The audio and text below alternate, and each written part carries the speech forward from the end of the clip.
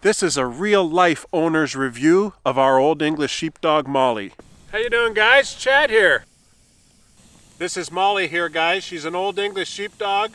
She's my best gal and she's 18 months old. She's the best dog I ever had and today I thought I'd give you my review on this dog, a type of owner's review. I do a lot of reviews on equipment and whatnot.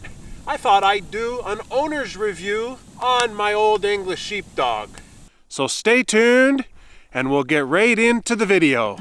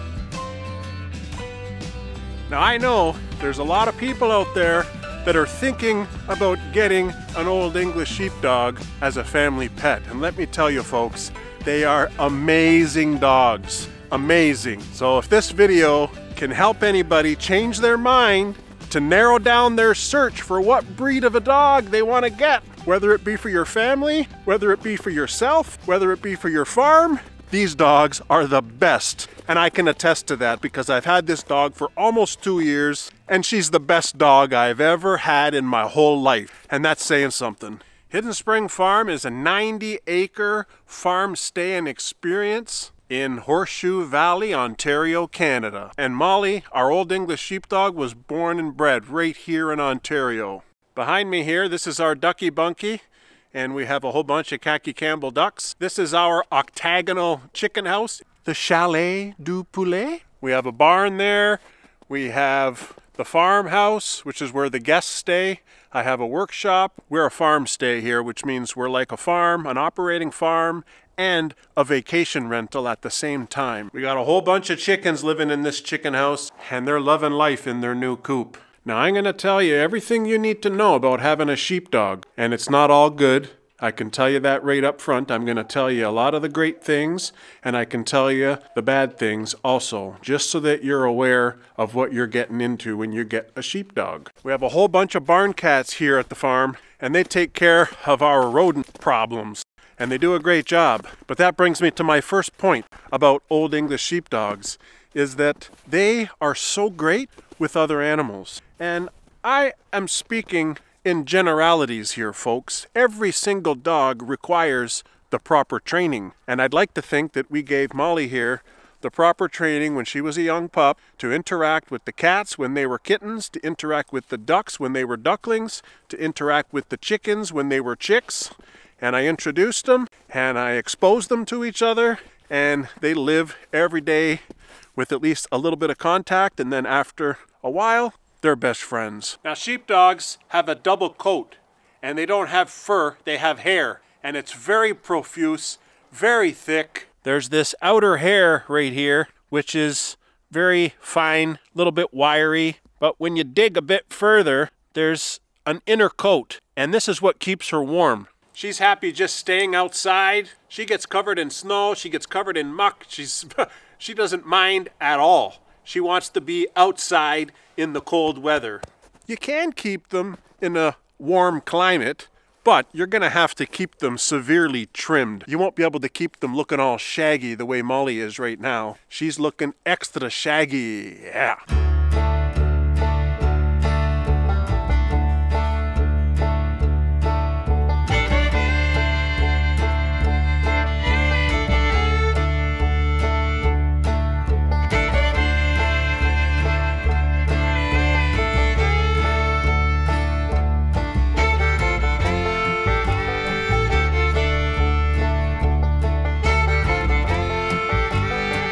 Here's a couple of quick hits about Old English sheepdogs. One, they don't shed. Two, they don't drool. The only time I see Molly drooling is when I'm ready to give her a treat and she's like, ha, ha, ha, and she's like salivating because she wants that treat. And the only time I ever see hair falling out is when she's scratching and then a little bit of hair comes out, or it just falls out naturally because it's dead hair, just like us humans, just falls out naturally. But they don't shed their coat in the spring. None of that. You don't have to deal with that at all. These dogs are very loyal, guys very loyal. They always want to be by your side. They're great companions. Molly's really my best friend. She goes wherever I go, whether I'm at the farm, she follows me around the farm wherever I go, or if I'm going somewhere in the car, or if I'm going to pick up supplies, she's always in the back seat of my car. She loves rides. She never gives me any problem. She doesn't get nauseous when she's in the car. She's really great that way. But that being said, guys, even though I'm saying they're super loyal dogs, it also can bring a couple other issues. Like for example, if I disappear for half a day without Molly and then I come home, she just wants to kiss and hug me and attack me and, and love on me for like 20 minutes because she misses me so much. So because they're so loyal, it's very difficult to have any free time for yourself. If I'm editing these YouTube videos, she's lying down there beside my desk. If I'm watching a movie on my TV, she's right there acting as my footstool. You know, if I'm eating some snacks, she's right there. She wants some snacks. So there is a little bit of separation anxiety with these dogs because they love their owners so much. They do, they really do. They always want to be by your side. That can be good, but it can also be a little difficult because you got to get yourself a little personal time, you know? And these dogs can take up all your time. Now, these dogs are classified as a working dog. They're actually a herding dog. They're a herding breed. And they do have herding tendencies and natural instincts. And they're also used as livestock guardian dogs. They just live out in the field with the sheep and then their coat gets really shaggy with the sheep and then when the spring comes around they just shear the hair off of the sheepdog at the same time that they're shearing the wool off the sheep. And that basically identified them as being working dogs like working on a farm for example. Historically these old english sheepdogs had docked tails. It was for tax purposes to show that the dog is actually working as opposed to being a pet. Now it is a fact that most countries everywhere around the world have already banned the practice of docking tails, but not here in Ontario, Canada. Ontario, Canada, the breed standard for Old English Sheepdog is to have a docked tail, hence their nickname of old, a bobtail. So now again, that being said, because they are a herding dog, because they have natural instincts to herd animals, people, cars, whatever. They want to herd you. They'll cut right in front of you and circle around and try to guide you in a certain direction. Because of that, they like to nip at the ankles or the bottom of the legs because that's what they were bred to do with the sheep. You know, nip. They just at the bottom of the feet to get the sheep to get moving. You have to be aware when you get these dogs, as long as you're not using it for herding, you have to be really precise in your training at a young age to really stop that nipping and stop the herding tendencies. And really, there's no easy answer on how to do that. You just have to really emphasize the using the word no. I use the word no a lot with Molly, and once she understood what no meant, now I say no for everything, and she's very good. If she's eating the cat food and I say, Molly, no, then she just stops eating the cat food because she understands what no means. So Molly no longer nips any, any kind of little biting, and she no longer herds me, although she still herds the vehicles, but she doesn't herd people at least. Now, because they're a working dog, these dogs don't like rest time. They always feel the need to be busy. They always want to work. And what that means, folks, is that they need a lot of exercise. They need to be out and about. Now, Molly here, she's living the time of her life here at the farm. She's not kept in a fenced area. She's not kept in a kennel. She's free to roam around wherever she wants. She's always running around playing. She's loving life at the farm. She's free. She's strong. She's muscular. She's not a fat dog by any means. She's very athletic for an Old English Sheepdog. So you better be aware of that. If you're thinking on the Old English Sheepdog breed, they need exercise. You can't just keep them locked up in an apartment. You know, they'll survive in an apartment, but you're going to have to give them, you know, a daily walk, like a nice walk in the morning, a nice walk in the evening, and then that way when you come home from work, you, you get exercise yourself. Now these dogs are very cuddly. You know, they love to be hugged. They're like giant panda bears. When they're young pups, they're traditionally white and black. But as they grow older, you can see that the black hair now has turned gray. This is all gray down here. But it's a beautiful gray. Now the Old English Sheepdog is not a very popular breed. They have been marked by the kennel societies that they're a breed in decline. So anything that we can do to help this dog, to breed this dog, to get them as pets, to get them as farm dogs, we need to do it. You know, we need to bring their numbers up. But because they're rare, they are the absolute center of attraction wherever you go. I mean, wherever I go at least, people are always asking me what breed it is. They're always asking me, can I pet her? Is she nice? Does she bite? So people are not so familiar with Old English sheepdogs, but they can see that she is such a cute dog. So everywhere we go, whether we're walking down the sidewalk, whether we're shopping at Home Depot, she's the center of attraction and people want to come up to her and pet her. She's a star. She's a star! Old English sheepdogs, I find, in my opinion, since having Molly for almost two years now, they're very intelligent, you know? I know that they're not marked very high on the dog intelligence list. They're way down at the bottom of the list. So a lot of people just assume that they're dumb dogs, but I don't find that the case at all. This dog is very, very smart. And she also shows a lot of human like qualities. And what I mean by that is, you know, she shows empathy, she shows remorse. You know, if, if you're if you're scolding her, she'll come over and apologize. Um, she understands names. So if my wife says to her, Hey, Molly, you love mama? You love mama? She comes over, you know, she kind of wants to give mama a hug because she knows that that's mama. She shows happiness, she shows sadness, she shows depression when she's getting in trouble, you know, she just puts her head down so she knows that she's getting in trouble. Things like that that tell me that she really understands what's going on. She likes to play games. She's pretty much a clown. She's like a comedian, you know, she's a comedian.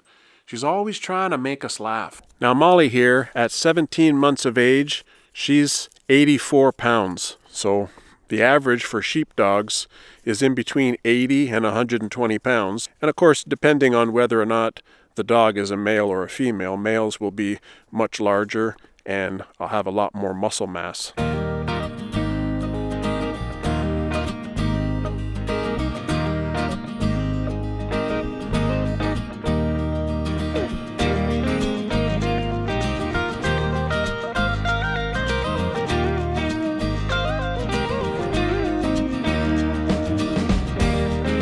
Probably the best feature of this breed is their personality. They have such a huge personality. I cannot stress that enough, that their personality is what makes them far and above one of the better dogs to keep as a family dog or a farm dog.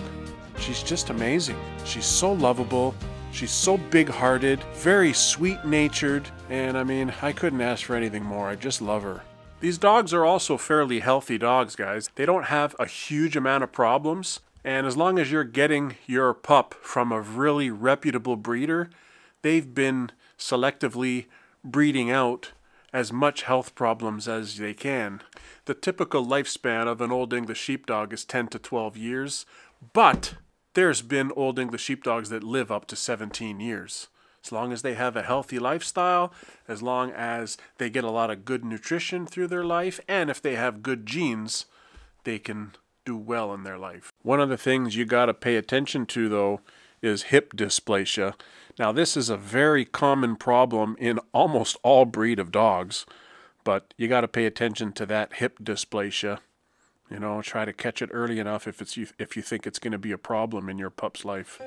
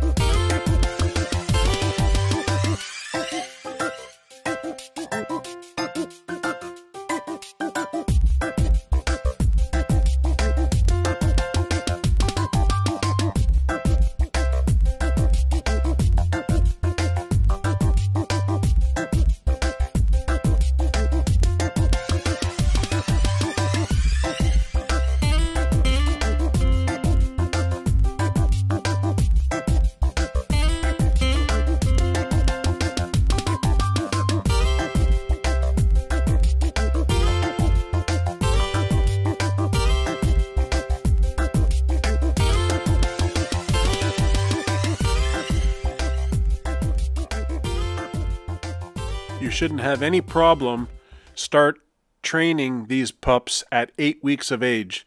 We started training Molly at nine weeks of age, but there shouldn't be any trouble at all. They're very bright. Molly learned how to sit. She learned her name, Molly. She learned how to come. She learned all that in one day. Now, if you live in a cold climate where it snows, you have to be aware that sheepdogs, because of the long hair, will develop snow clumps and snowballs on the bottom of their legs and their feet, in between their toes and everything.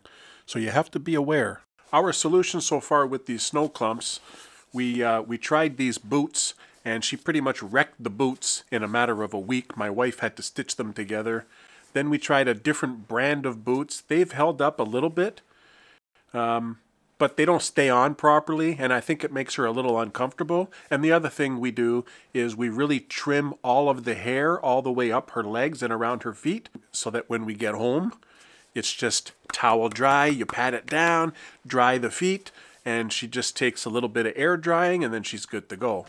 Otherwise, it's going to be a problem for inside your house when all these snowballs melt. Now, let's get down to the brass tacks about keeping an old English sheepdog when it comes to grooming, guys. Grooming? Now, it's no secret that the Old English Sheepdog is a shaggy, hairy dog.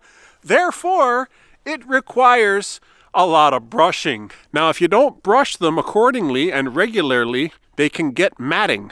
And matting is when there's big chunks of hair that basically get knotted and tangled, and then there's nothing much you can do at that point apart from shaver.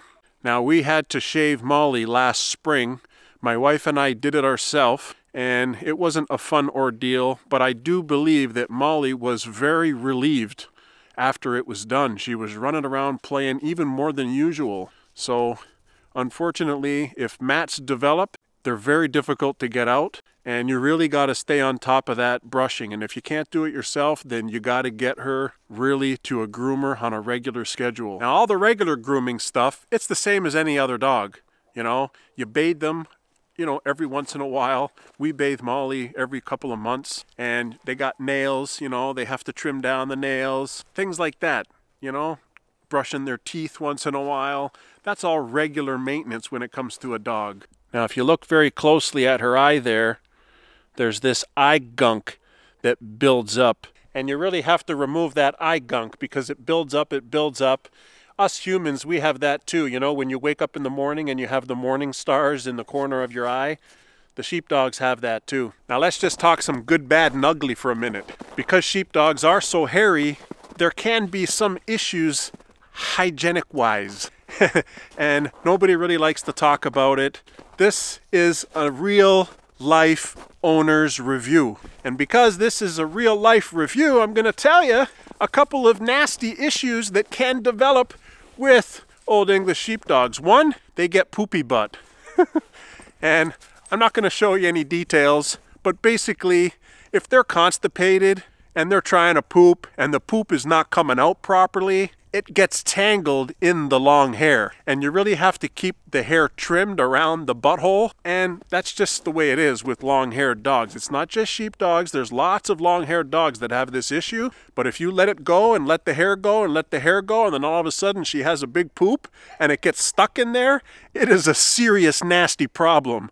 It's time for the rubber gloves treatment. And the other thing too is of course the opposite of a constipation is a diarrhea. And if she gets a diarrhea, then it runs down the hair and it, it's pretty nasty. But that's all I'm going to talk about that, but I just wanted you to be aware. When it comes to cost, I believe I paid 3,000 Canadian dollars for Molly, and she is from a top notch breeder here in Ontario. From a reputable breeder, you're probably looking anywhere in between two and four thousand dollars. And I'm talking Canadian dollars here. I mean, depending on where you are in the world, you'll have to figure that out and do your own research. But they are expensive dogs. They're purebreds. You can't put a price on happiness, guys. One more thing that I find with our Old English Sheepdog Molly is that she can be very clumsy at times. And it's not the fact that she's a clumsy dog, but the problem is the shaggy hair covers her eyes. And she does bang into things when she's going up and down stairs. Sometimes she misjudges the distance between her and the stairs or she bangs into the coffee table, things like that. So what my wife does is she keeps the hair around her eyes trimmed so that she always has a clear vision. But with all that good, bad, and the ugly, she's my best gal. She's my best friend. I love her a whole lot and I wouldn't trade her for anything. Here on the farm, I hope to be able to get into breeding at some point in the future, but it won't be with Molly because she's already spayed. That was part of the agreement from the breeder. She has a non-breeding contract. She's the best dog I've ever had. I love her a lot. I'm happy that she's living a great life here on the farm. I don't mind that there's a little bit of extra brushing. I really like the shaggy look. Look at this face! Look at this face! solid. She's a solid dog. Look, she's solid muscle because she's always running around here on the farm. She's like a weightlifter. Anyways, guys, I really do appreciate you watching this video. I don't believe that there's any video on YouTube from an experienced owner about keeping an old English sheepdog. There's a lot of videos out there, but they're all just some guy talking in the background. And then they show a whole bunch of clips from the internet. They're not really old English sheepdog owners themselves. I can tell you everything that we talked about today is experience from me. And it's no word of a lie. I'm not making anything up. It's a true, true, honest review of keeping an Old English sheepdog. But I really do appreciate you watching. I really hope you enjoyed the episode. If you did enjoy this episode, don't forget to pound that like for me, please. Click the like button. It really helps with YouTube recommending our videos. And if you really want to see Molly grow up on the farm, day-to-day -day activities on the farm, farm vlogs, equipment reviews, firewood stuff, chainsaw stuff, farm safe stuff, we have geese, we have chickens, we have ducks, we're hoping to get a whole slew of more animals in the future to make the farm stay more attractive to our guests. We're talking about gardening. We're talking about hugelkultur, built duck houses, we built chicken houses. We do a whole lot of sheepdog stuff, and we'd really appreciate it if you click that subscribe button. Molly would appreciate it too. High five! High five! Yeah, high five, high five, yeah, down, lie down, lie down. Good girl, good girl. Good girl!